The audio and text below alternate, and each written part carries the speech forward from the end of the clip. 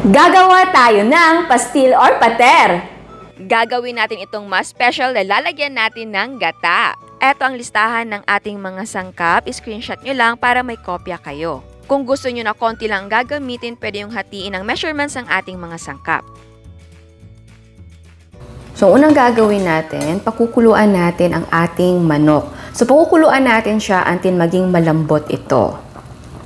Ayan, malambot ng ating manok. So, hahanguin na natin ito. Patuluin natin yung kanyang water at palamigin siya. Ayan.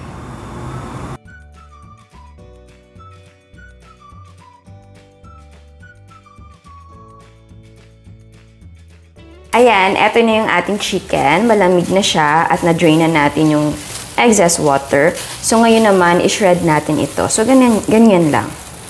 So, ganyan lang yung pag-shred. Ganyan. Ayan. So, huwag masyado siguro manipis. Yung ano lang. Yung tama lang. Kasi lulutuin pa natin siya mamaya. Para hindi din siya madurog.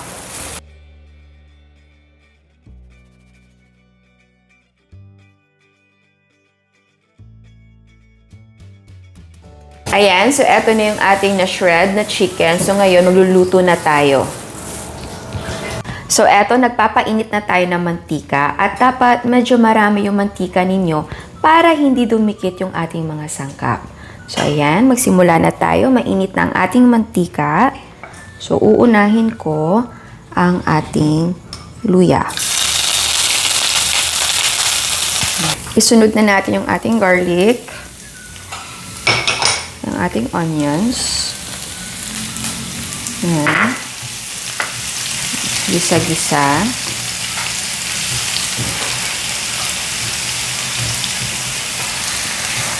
So ngayon, ilagay na natin yung ating manok. Yan, lagay na natin lahat. Yan. Oh, dapat pala malaki yung aking lutuan. Baka ilipat ko yan mamaya. Yan. So, gisa-gisa.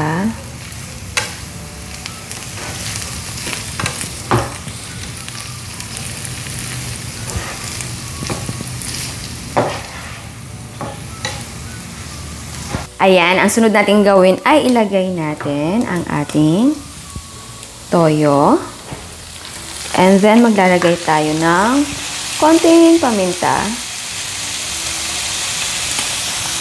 Tapos, lagyan natin ito ng sweet pepper. Tapos, sili. So, sa sili, pwedeng marami yung ilagay mo.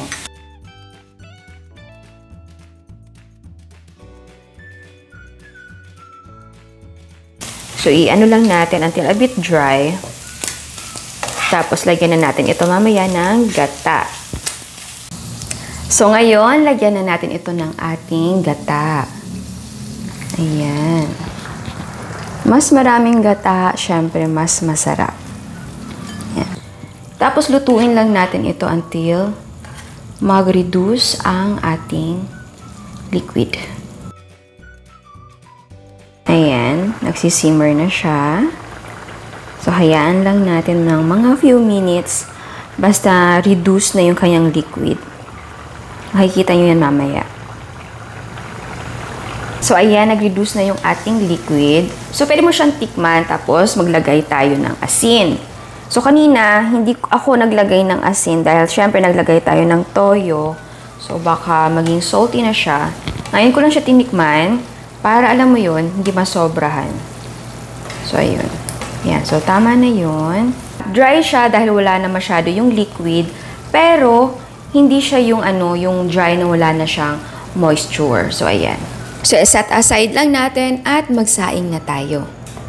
So, ayan. Ito na yung ating rice. So, nahugasan ko na.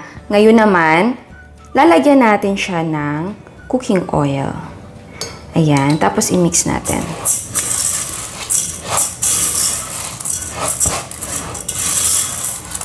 Ayan. So, mix lang yan. Ito makoat lahat ng ating rice. Sunod naman, lagyan natin ng turmeric powder. Ayan. Oops. Munting mahulog yung ating ano, uh, lalagyan. Ayan. So, mix naman natin yan.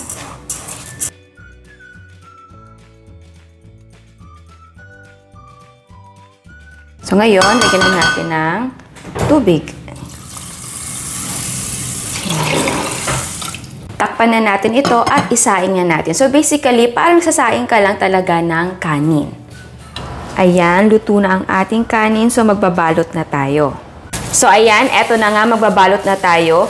Etong dahon na saging natin ay nadarang ko na or napa daanan natin sa apoy. So, flexible na siya.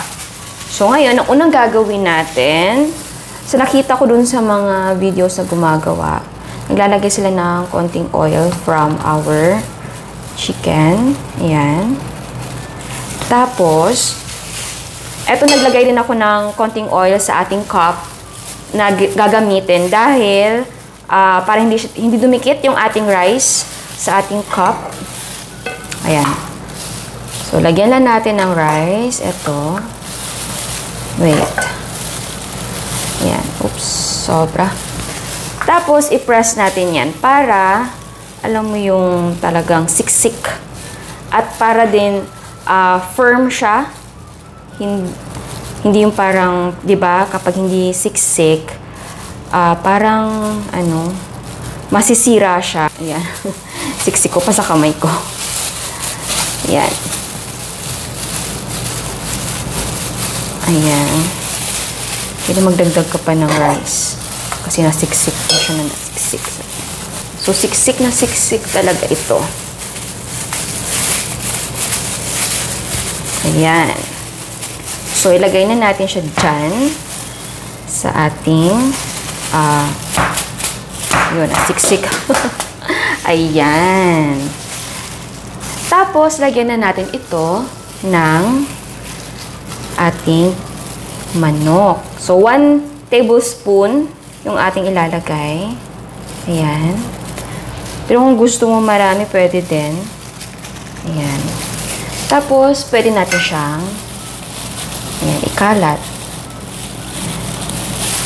Tapos, medyo i-flatten natin. Ayan.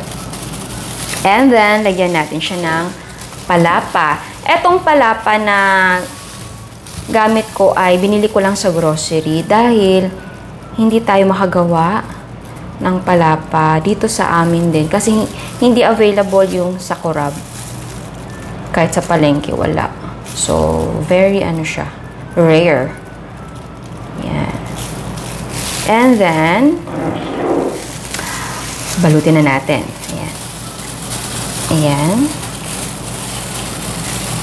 so medyo i-tight mo talaga. Hindi medyo. Talagang dapat tight. Para hindi siya madaling mawasak. Ayan. Wait. Ayan. Ganyan. Tapos sa kabila. Ayan. So, dapat talaga ano, tight. Ayan. Sorry, hindi po ako expert. Ayan. And then, para ma-seal, ayan, i-ano mo sa bottom. Ayan. O, meron na tayong first na pastil or pater. Yung iba naman, ang ginagawa nila, hindi siya parang ganito yung shape. Yung para bang medyo uh, square. Yan. So, square natin. Or oval ba? Teka. Ayan, meron tayong semi na or semi na rectangle na rice. Lalagyan natin yan ngayon ng ating manok.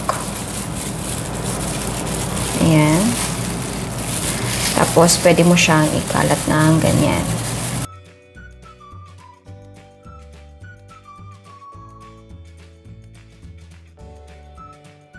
At ayan, eto ng ating special na pastil or pater. Pero bago tayo mag-taste test sa hindi pa nakasubscribe, please subscribe sa ating YouTube channel and please click the notification bell and please click all para ma-notify kayo sa lahat ng uploads. So ayan, titikman na natin. Kukuha tayo dito ng isa. Ayan. Alam nyo, ang bango-bango niya talagang nag-contribute ng amoy yung ating banana leaves. Mmm, ang sarap ng amoy niya. So again, itong pastil or pater natin ay hindi siya yung ah, common kasi nilagyan natin ng gata. Para mas special. Ayan. Oh my God. Alam niyo, excited na ako. Tikman siya. Dahil ang bango niya. Wait. Ayan. Iniiwasan ko yung palapa. Dahil ang anghang niya, tinikman ko kasi to yung palapa lang. Ang anghang grabe. Kaya iniiwasan ko. Eto na. Mmm.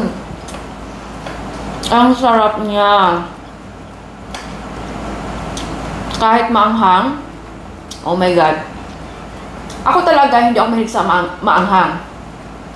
Kumakain ako ng maanghang, pero yung parang, very ano lang, yung may kick lang. Ito kasi, lalo na may pala, palapa, ang sobrang anghang niya para sa akin. Pero ang sarap niya, sobra. Kaya yung half teaspoon na palapa ay tama lang para sa akin. Sobra na nga yun eh, kasi ang anghang niya talaga.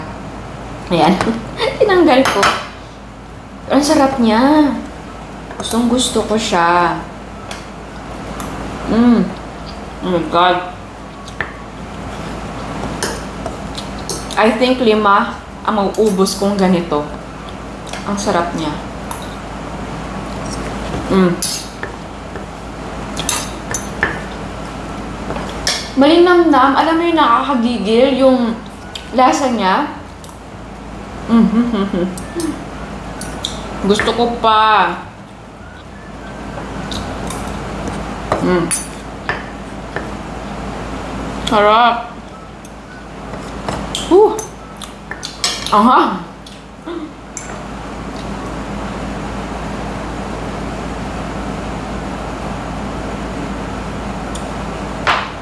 Masarap to kapag may soft drinks. Alam mo yun?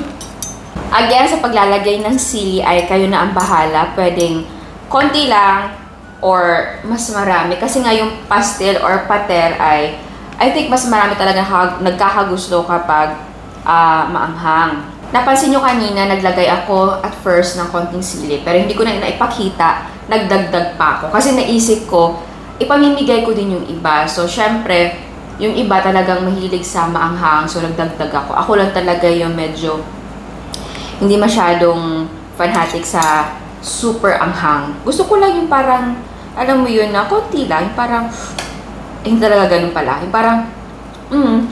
Ito kasi parang, talagang, anghang niya talaga. So again, kung gusto niyo na mas maanghang, pwede nyo dagdagan. Itong palapa talaga ay napakaanghang. Kung gusto nyo bumili, ito yung nabili ko. Pero marami talaga sa grocery, iba't ibang ano, iba't ibang ah, brand. So, kung mahilig kayo sa maanghang, ito, masarap siya, pero maanghang. mm, ang sarap. Super. Siguro mas nagiging malinamnam yung ating pastil or pater dahil naglagay tayo ng gata. Alam mo yun, mas nakaka-enhance yung gata sa ating manok.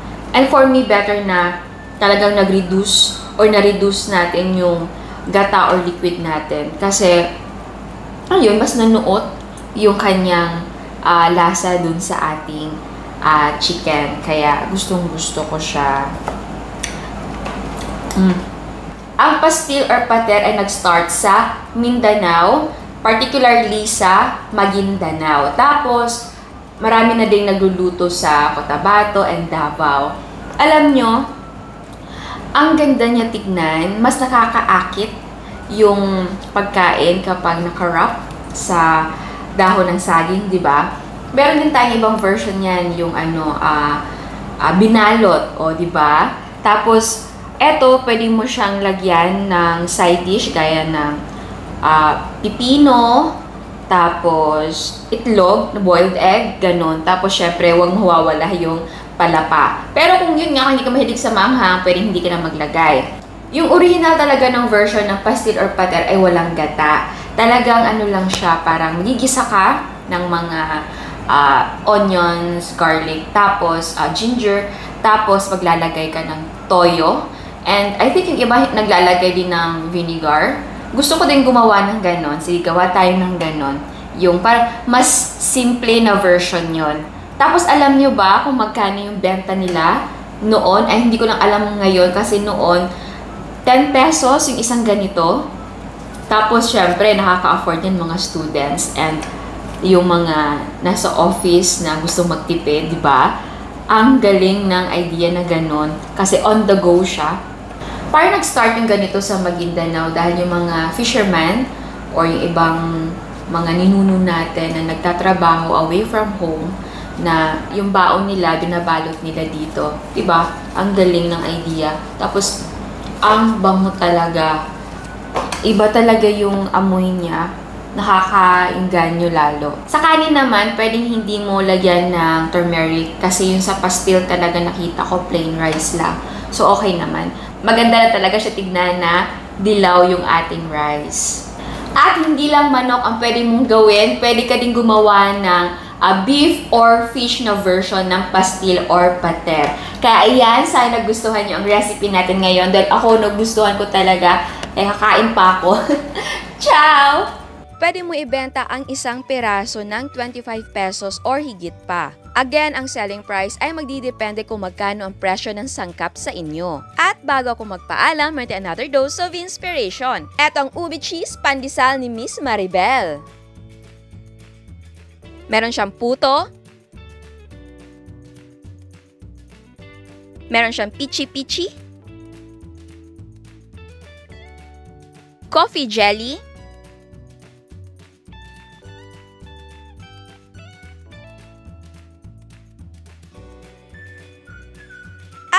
Ang kanyang mga cakes and cupcakes.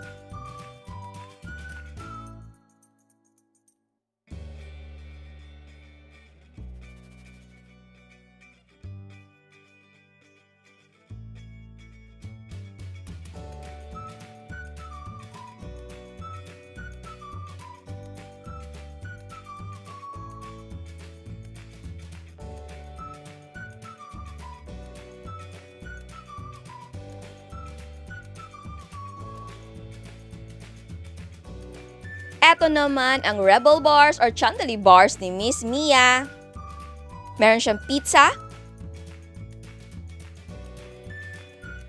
At meron din siyang cakes and cupcakes.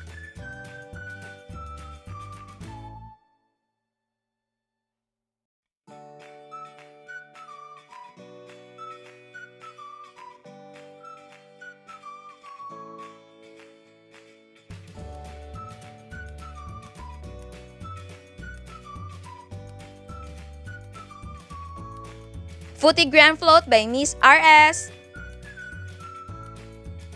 At meron siyang no-cook cake. Again, gusto ko magpasalamat sa pag-share ninyo sa inyong mga photos. And uulit-ulitin ko salamat sa suporta at pagmamahal ninyo na binibigay ninyo sa Kusina Chef. At sa mga hindi pa nakasubscribe, please subscribe sa ating YouTube channel and please click the notification bell and please click all para ma-notify kayo sa lahat ng uploads. And please don't forget to like our Facebook page and follow us on Instagram. Thank you!